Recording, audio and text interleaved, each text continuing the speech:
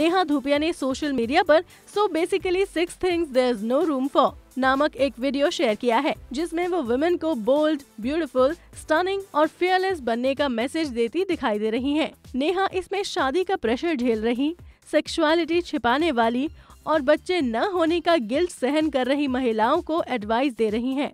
Video के आखिर में नेहा स्ट्रिप भी कर रही हैं। अभी वीडियो को लाइक करें, शेयर करें और अभी चैनल को सब्सक्राइब करें।